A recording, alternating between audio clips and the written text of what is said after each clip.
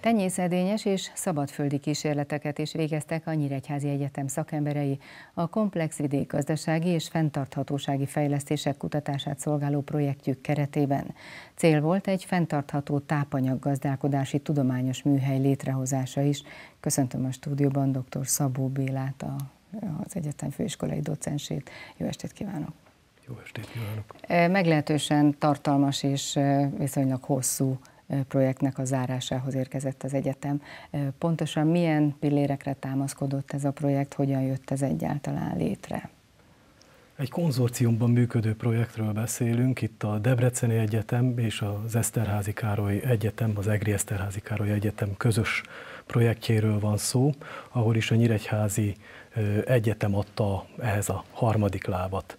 Itt nem csak a három intézmény együttműködéséről kell beszélnünk, hanem a nemzetközi hálózatokba történő bekapcsolódásról, hiszen ez, ez, ez volt talán az egyik fő célja ennek a pályázatnak, ahol is több együttműködés és szándéknyilatkozat mellett konkrét kutatásokban is együttműködtünk, aminek már is vannak eredményei, már megvalósuló nemzetközi szintű publikációk.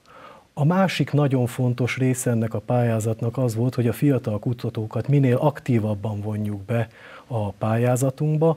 Ez részünkről elsősorban a hallgatók bevonását jelentette, több tucat ösztöndíjas hallgatót fontunk be a kutatói munkába, ahol is a, a vezetőkutatók és a kutatók mellett részt vettek a különböző folyamatokban, és közösen publikáltak.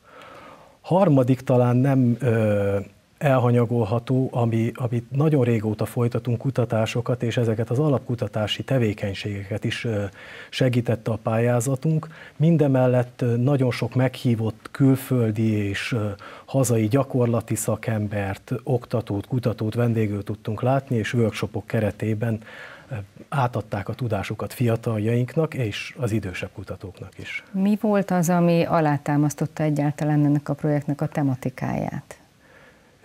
Igazából a, a projekt lényege a három fontos kutatási tevékenység volt, fenntartható tápanyaggazdálkodási tudományos műhelyt hoztunk létre. Lényegében ez a műhely elemeiben korábban is megvolt, hiszen ezekkel a kutatási témákkal foglalkoztunk, de most összevontuk ezeket, és biológus, vegyész, műszaki, informatikus területekről nagyon sok-sok kolléga kiegészítette, ebbe kapcsolódtak még be a hallgatók is, és így akár nemzetközi szinten is egy egységes egészként tudtunk megjelenni. Ennek ellenére ugye nem csak egy kutatási irányvonalunk volt, hanem minden kutatásunk a tápanyag gazdálkodás köré épült.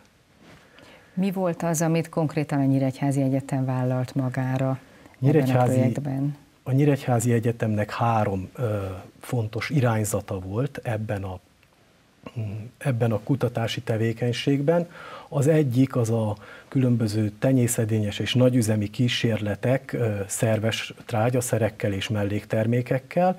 Itt a hagyományosnak, már-már hagyományosnak mondható komposztok mellett granulált baromfitrágya, riolittufa és élelmiszeriparban előforduló melléktermékek hatását vizsgálták kutatóink a kukorica termés mennyiségére, minőségére. Ezen belül volt egy érdekes irányzatunk, ahol is a csili paprikák termés mennyisége és minősége mellett a csípőséget okozó kapszaicin tartalomra is megtörténtek ezek a vizsgálatok. A másik ö, irányzat vagy irányvonal az a másodvetésű növényeknek a, a témaköre volt, hogy ezek a másodvetési növények milyen hatást gyakorolnak a talajra, milyen hatást gyakorolnak a, az utóveteményre. A harmadik nagy témakörünk az elsősorban a pillangós virágú növények termesztés technológiájának vizsgálatára irányult. Itt amellett, hogy a technológia sok apró lépését vizsgáltuk meg, itt is elsősorban ezeknek a tápanyaggazdálkodásai tulajdonságaira voltunk kíváncsiak. Született tudományos szempontból is jelentős eredmény, vagy inkább a gyakorlatban hasznosítható eredményeket kaptak? Ugye egy egy tudományos műhelynek mindkét irányzat nagyon-nagyon fontos. Nekünk a, a térségi szerepünkből adódóan e, elsősorban a gyakorlati eredmények fontosak, de publikációs szempontból pedig és a nemzetközi esítés szempontjából nagyon fontosak, hogy tudományos eredményeink is legyenek. Nagyon sok publikációnk született szerencsére. Szerencsére pályázatunkban ez előírás is volt, hogy sok-sok, sokat kellett publikálnunk, nem csak nekünk, hanem hallgatóinknak is, és nemzetközi szintű publikációkat kellett készíteni. Emellett viszont nagyon fontos gyakorlati eredmények is születtek a szerves trágyaszerek felhasználhatóságát illetően, és különösen izgalmas téma lett a pillangós virágú növények tápanyaggazdálkodásra gyakorolt hatása, hiszen En eh, ezeknek a növényeknek a nitrogén megkötő képességét pontosan ismerjük. Már az ókor óta tudjuk, hogy, hogy amit pillangós virágú növény után vetünk, az nagyon-nagyon jól terem. De ennek a számszaki részét hajszál pontosan nem ismerjük, különösen itt nem a gyenge tápanyaggazdálkodású homoktalajokon, és amit nagyon-nagyon szeretnénk, még nem, nincs meg, nincsenek meg a pontos eredményeink, de több éve foglalkozunk vele, az az, hogy hajszál pontosan megmondhassuk, hogy egy egy-egy bükköny mennyi nitrogént hagy maga után, és az utóveteménynél hogy lehet ezzel számolni? Mennyire mondhatjuk stabilnak vagy jövőbe mutatónak azt a tudományos műhelyt, amit most a projekt keretén sikerült létrehozni? Hosszú évek óta ezekkel a kutatási témákkal foglalkozunk, tehát, ahogy mondtam, nem új keletű ez a tudományos műhely, hanem igazság szerint most tudtunk olyan teljes egységbe szerveződni és jobban összehangolni a kutatásainkat. Hiszen látjuk azt, hogy egy-egy magányos úttörő az nem vezet célra, pontosabban nagyon ritkán tud elérni komoly tudományos eredményeket, csak kutatási tímekbe, csapatokba lehet gondolkodni, és nemzetközi szinten is csak ilyeneket tudunk. Ilyenekkel tudunk labdába rúgni. Vajon a hallgatók számára mit jelentett, milyen muníciót kaptak ettől a projektől, ettől a tudományos műhelytől?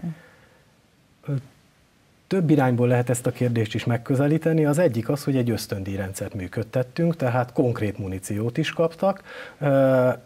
28 hallgatót tudtunk bevonni, ez 36 ösztöndíjas évet jelent, hiszen voltak olyan hallgatók, akik több éven keresztül részt vettek a pályázatban.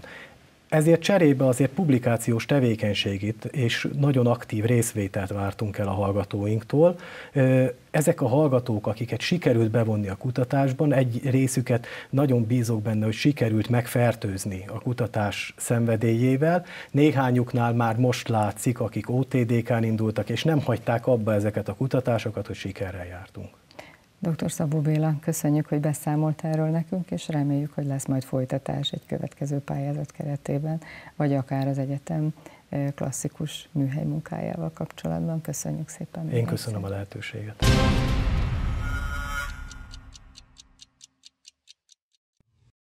Készült Magyarország kormánya megbízásából az Európai Unió támogatásával.